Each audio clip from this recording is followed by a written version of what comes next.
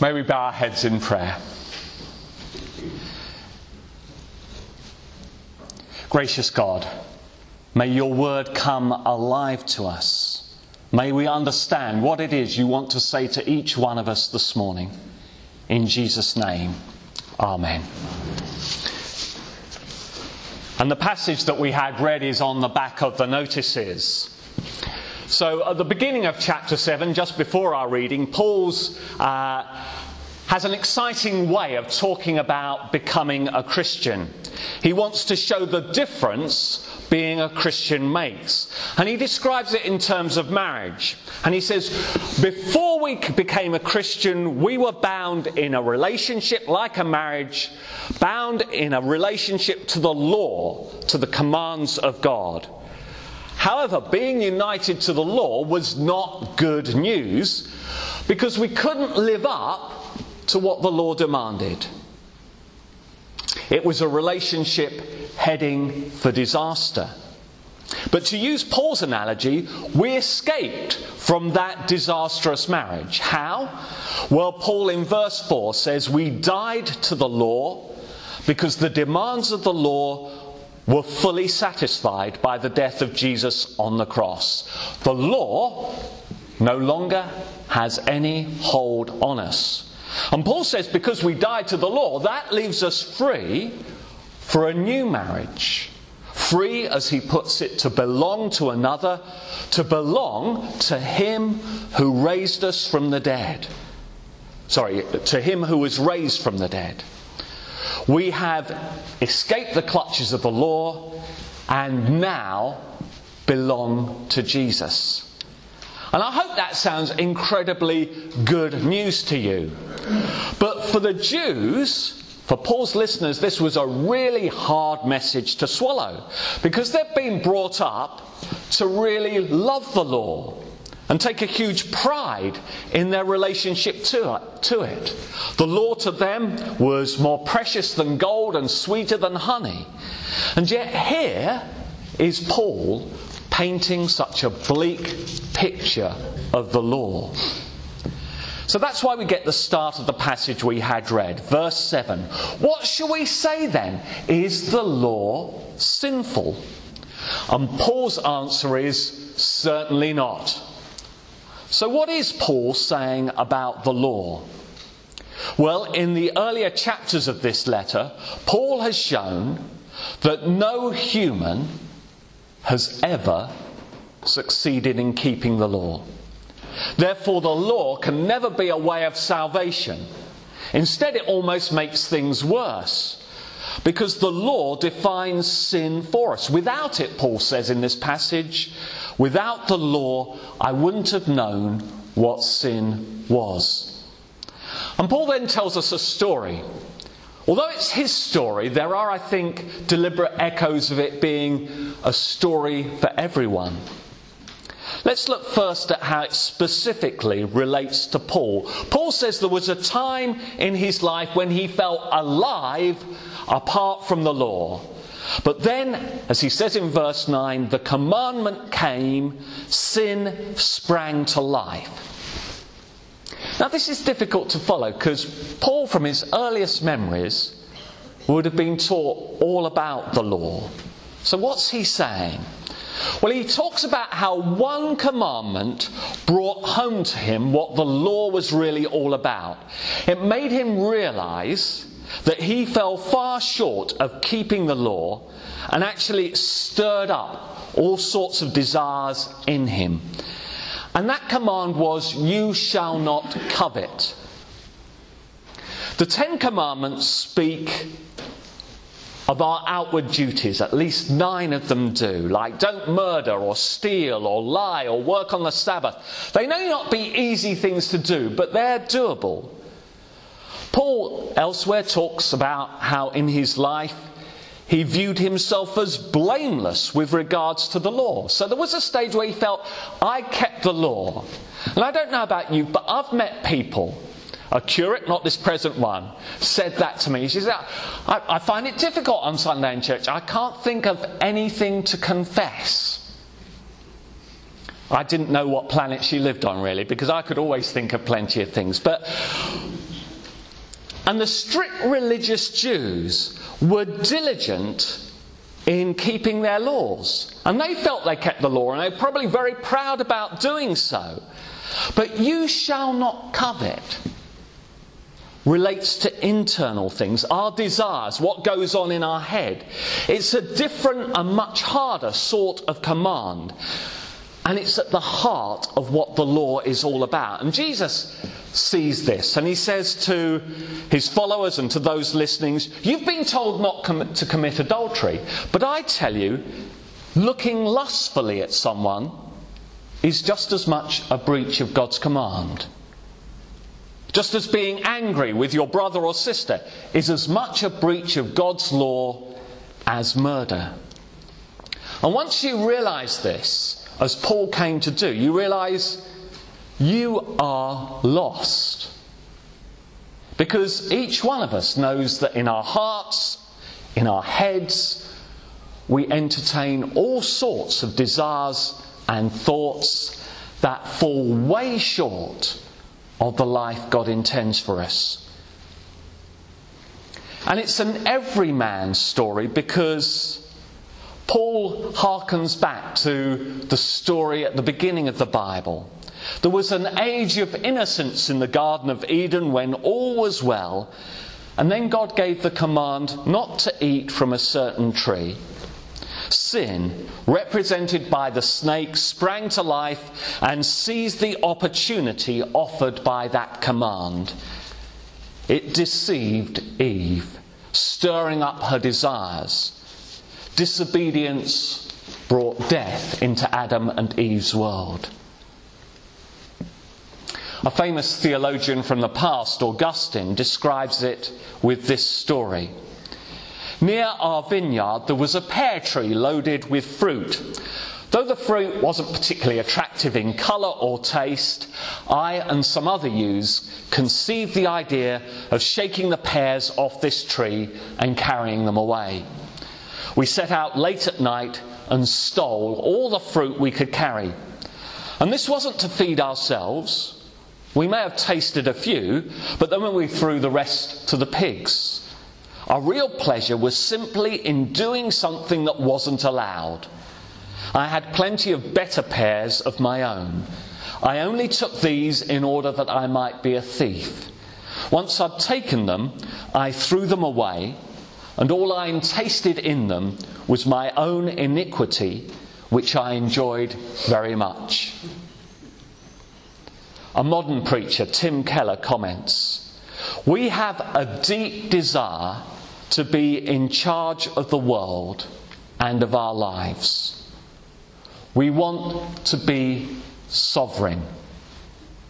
Every law that God lays down is an infringement on our absolute sovereignty. It reminds us that we're not God. In its essence, sin is a force that hates any such infringement. It desires to be God. What was the first temptation from the serpent in the garden? You will be like God. That was the essence of the first sin, and it's the essence of all our sins. So, once again, we come to the question is the law the baddie in this story? No, no, says Paul. It's we who are the baddies. The law is good, it's from God Himself.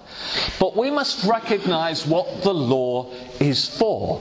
The law may be good, but it's not able to save sinners. On the contrary, it shows us that we are sinners. The law may be good, but it doesn't give us any power to change our lives. And sometimes our whole approach to Christianity is wrong. We, if we think it's about teaching people to obey God's laws, we're wrong because simply telling people what the right thing to do is doesn't give people the power to obey, to change. It's like if in our Sunday clubs, if all that we're telling our children is to be nice to each other, to be respectful to parents, not to lie, to help those in need, well, those would be all great things to say, but such teaching does not change lives. It's by telling them about God's grace and love. It's by telling them about how God gives us His Spirit to help us live for Him.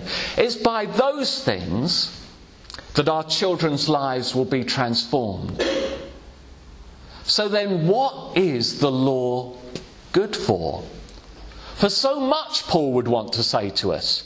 Because as we read the law of God, it shows us what our God is like.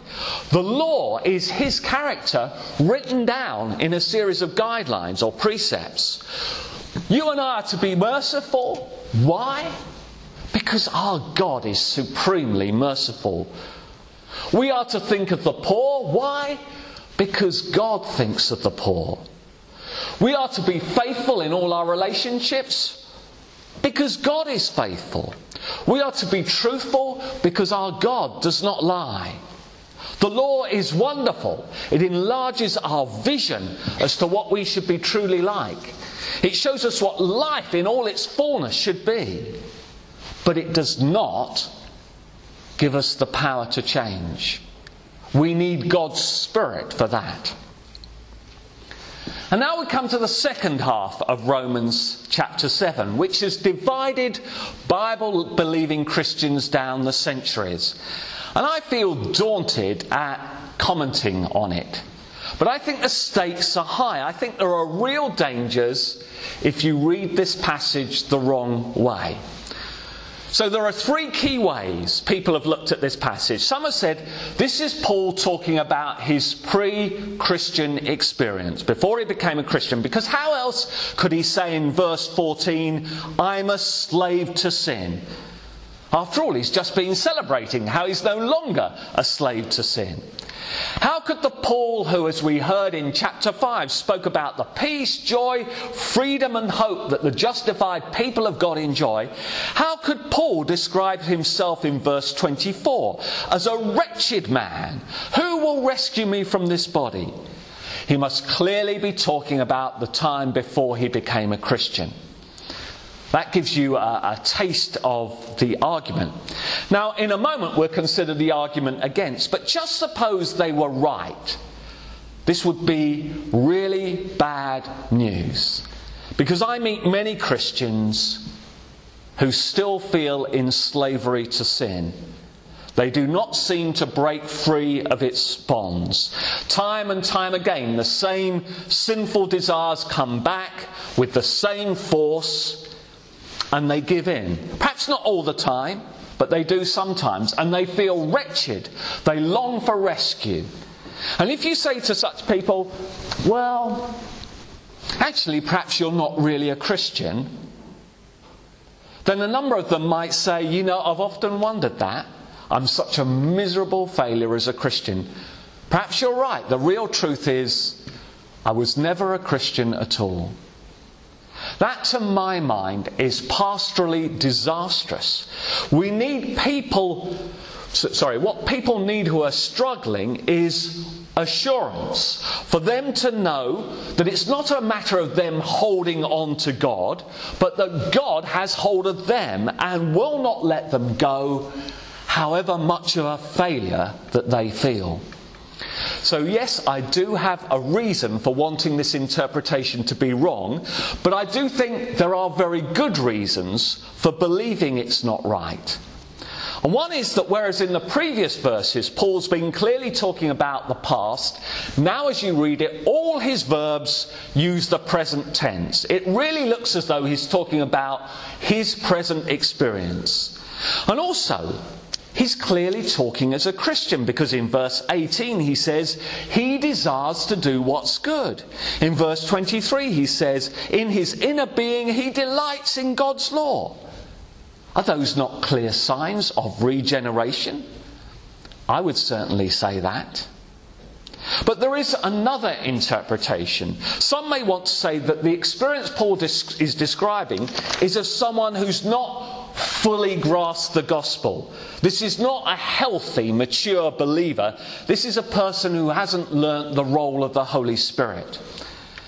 And I can see some merit in this, but again, I think there is danger. It's, to my mind, a dangerous half truth. If people want to say that in the Christian life you can get beyond the stage where you feel that sin still holds you and that you feel from time to time like a wretched person, I want to say, no, you don't get beyond that stage. I certainly standing here as your vicar, have not got beyond that stage.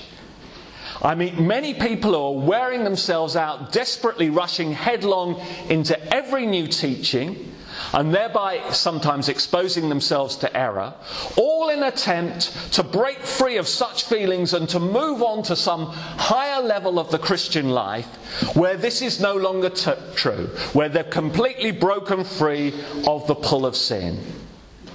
And this failure to break free after a time in such people who are to- always looking to break free can be so exhausting that they give up. They've tried so many different ideas and none of them have worked, and they feel bitter and cynical about the whole Christian thing.